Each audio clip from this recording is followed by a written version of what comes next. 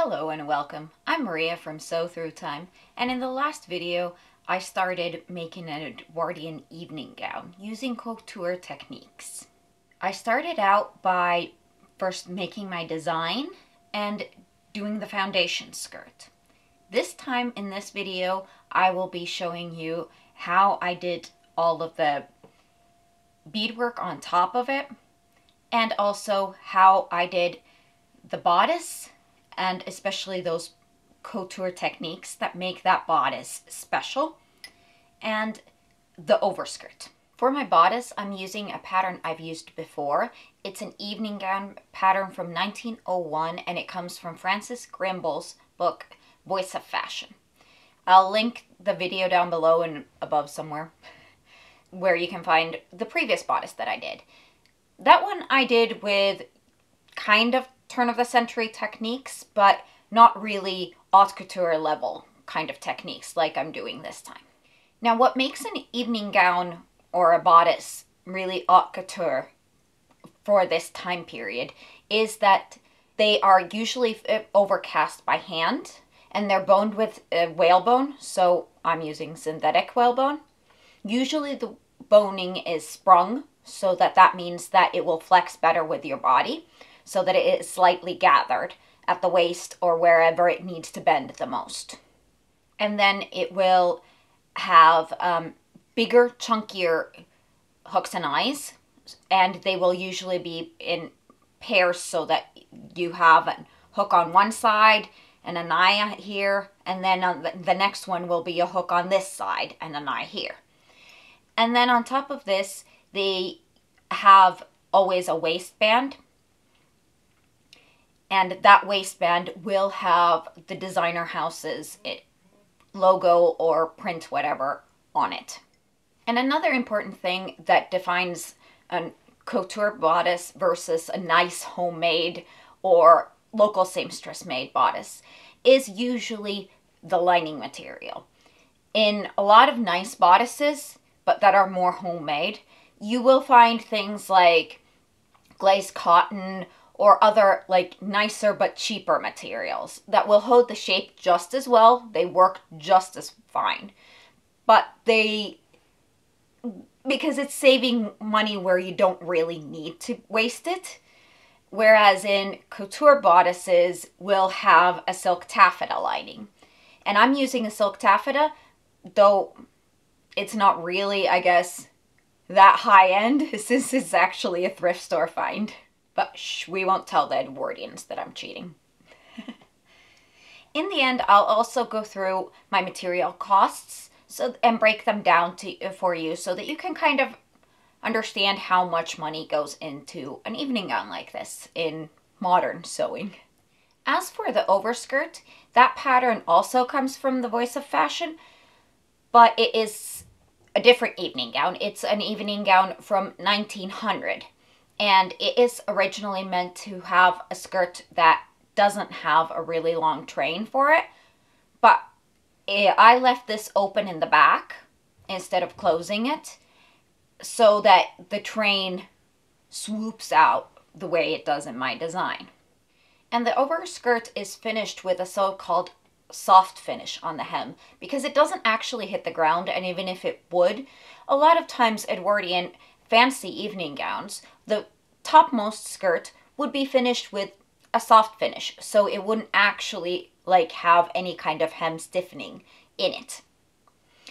But it this one is lined because of all the sequin work that I did. I didn't want those threads to be visible and possibly get stuck on things. Here is my design for this evening gown. I was inspired by fashion plates from 1902. The original drawing had a diamond shaped design on it, but I changed it to a spider web because I liked how that could accentuate the narrow waist and would give the gown a vampire twist. A spiderweb design would also be historically plausible since they did a lot of fantasy details on evening gowns. The original has a lace collar and sleeves that I thought I might later make as a chemisette style so that it, this gown can transition into a more conservative dinner dress when full dress is not required, but have sequin shoulder straps for more formal wear.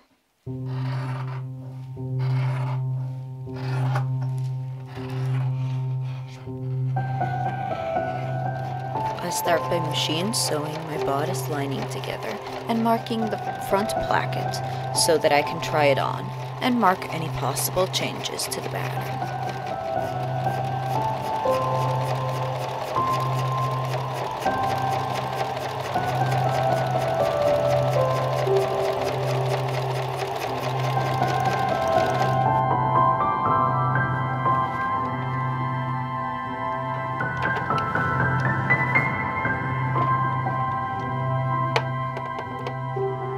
Trying it on, unsurprisingly, the side seams were a bit big for me at my rib cage because, well, I don't have a rib cage, and I needed some upper bust darts.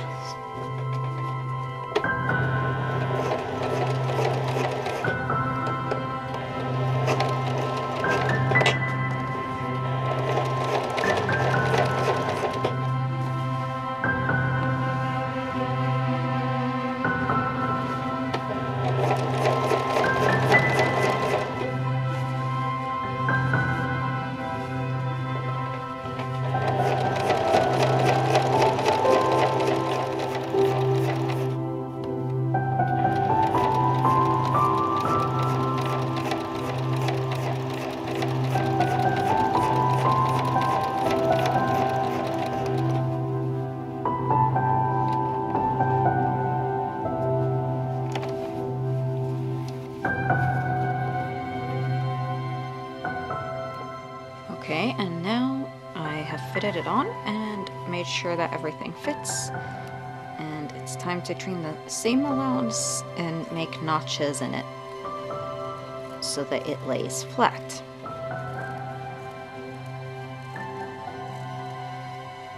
And here is a very important lesson about bodies and how they are never really completely symmetrical.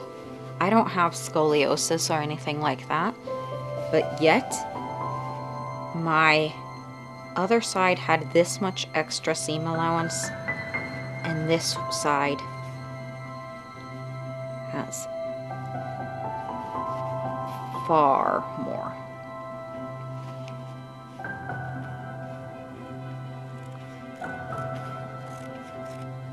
I don't know, I haven't ever noticed before that my sides wouldn't be very symmetrical, but for some reason, that's what this pattern came out to be. And I've tried it on. It looks good on my body. Everything looks right. All the seams look like they're in the right place. And it just happens to be not very symmetrical this time. And that's fine. That's just the beauty of bodies.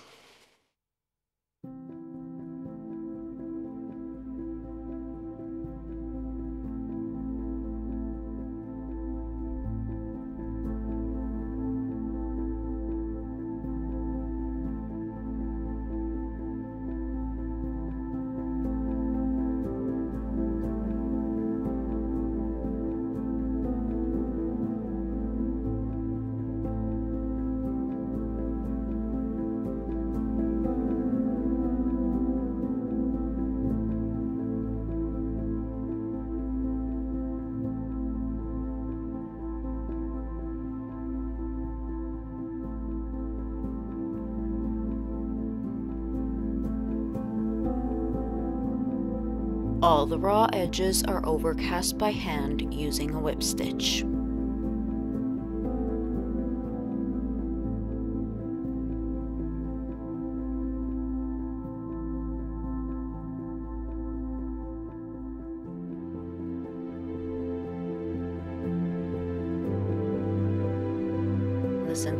Whalebone is cut to size, inserted in the boning channel, and sewn on the seams so that the channel is slightly gathered.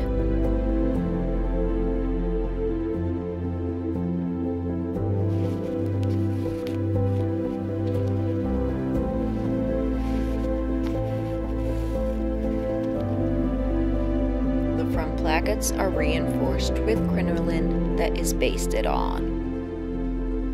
The edge is turned and basted again. Then turned again and sewn closed using a hem stitch.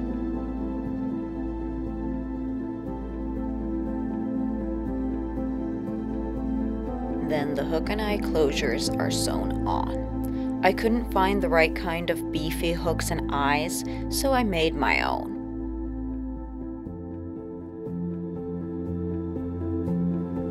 The fashion fabric back piece is placed on the lining with the center marked with pins and draped on, turning in the edges.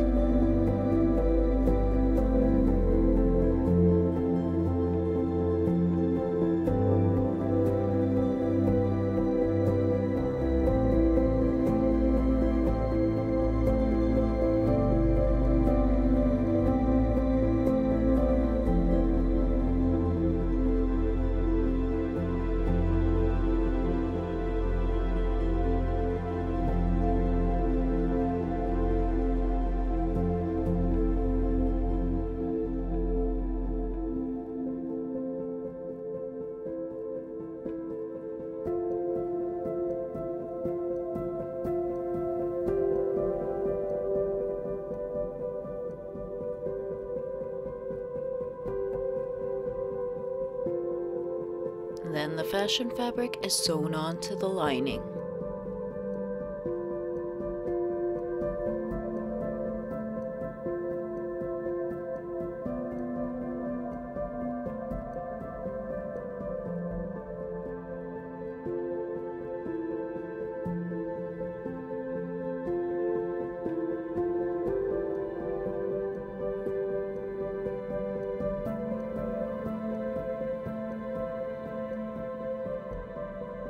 Front fashion fabric is first decorated flat before pleating the sides and attaching it to the bodice on one side. I start by pinning on the vertical sequin lines in my spiderweb design and sewing them on. I stitch them by inserting my needle on one side of the sequin trim and run it to the other side and stitch through so that my thread ends up under one of the sequins. And then take the next stitch through on a few sequins below on the opposite side again. The same is done to the back piece, trying not to stitch through to the lining piece.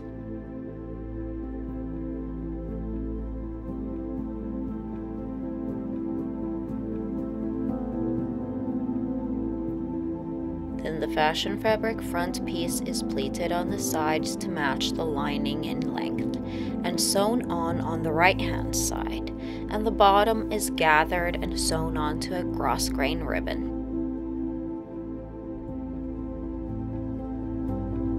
Then the ribbon is hemmed on the inside for a clean finish.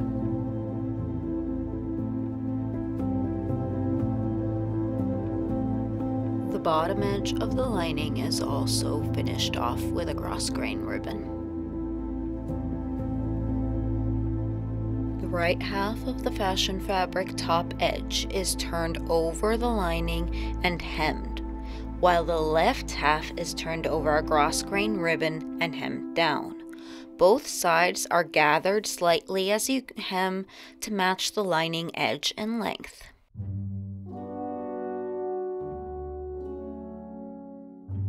Then hooks are sewn onto the left side of the front piece.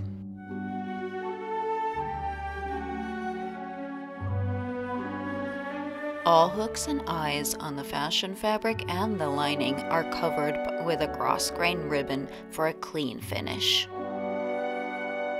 Thread loops are sewn onto the left side on the back piece with buttonhole twist silk thread to close the bodice and give it a seamless finish.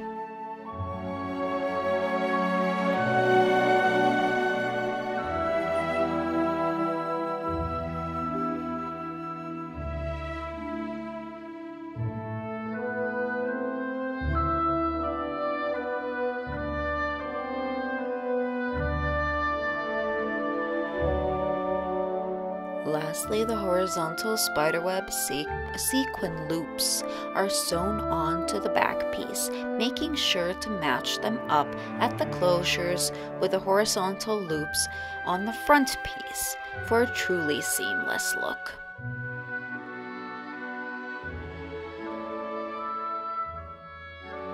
The overskirt pieces are sewn together and the spiderweb sequin design sewn on.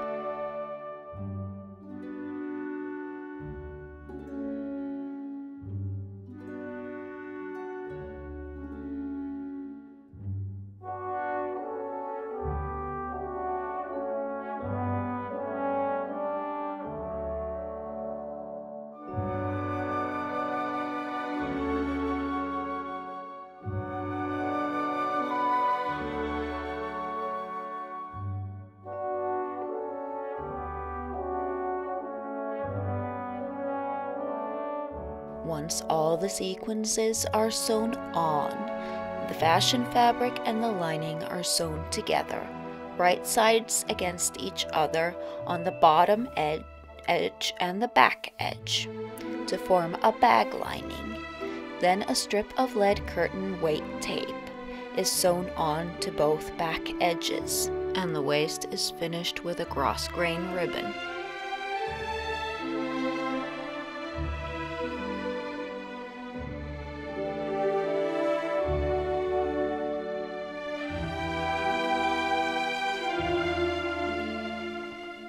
Okay, let's break down now a little bit of the cost, what went into ma- materials for this gown.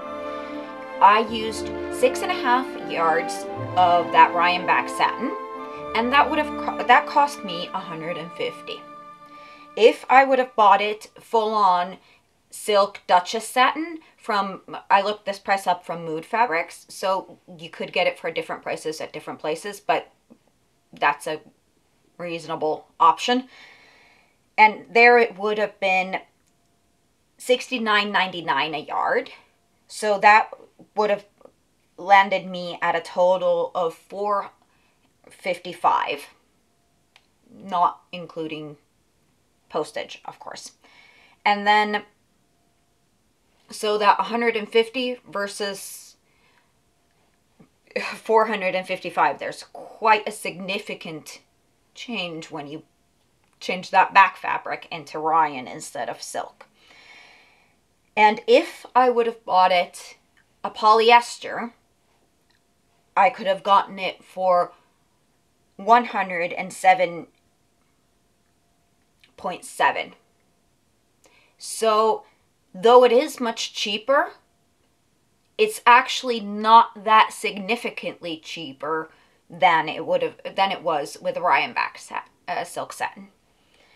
Then I needed about 17 yards of the sequins, and that cost me about 15. Then the silk taffeta that I used, I used about 4 yards.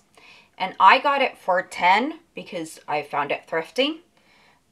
But a relatively like normal real price would be about 70 for it. So the grand total real price that if I would have bought all of this new would be 275 because I bought this uh, silk uh, taffeta used or thrifted and I also bought some of had bought my some of my notions already for other projects and I was basically just using leftovers. I actually ended up using only 200 for this project. If I would have used completely polyester, I could have got, and I would have bought everything new. I would have got it for 227.6. And if I would have used the Duchess satin, silk satin, and the silk taffeta, it would have cost me 510. So there are ways that you can get this significantly cheaper but even in modern days, a gown like this will require quite a bit of investment. But then again, if you go find a modern evening gown, you're not going to find anything, even in the cheapest, flimsiest polyester, really under this price tag. So I'd say this is a fairly reasonable amount. But if you are on a budget, don't be afraid to go for budget friendly options. And really, if you would have th- thrifted all of these materials, especially curtains, can be an excellent way to thrift evening gown materials because curtains are usually quite cheap. You can get some for 10 or 20 and usually and that is usually enough material for most of the pieces, if not all. So, if you were to be really budget conscious, uh, conscious and thrifty, I think you could manage to get this for about 50. So when it comes to costuming, really what is important is really what is your budget and how much you are willing to spend on a piece. It doesn't necessarily have to be expensive, but it can be. And you can always find different options no matter what you are making to suit your budget. But you might want to keep in mind that the cheaper you want to get something, most likely the more work it is going to require from you for finding those materials. But I think my point here is that no matter what budget you have, and you if you want to make something, you can find a way. There don't let budget be your obstacle in making something beautiful.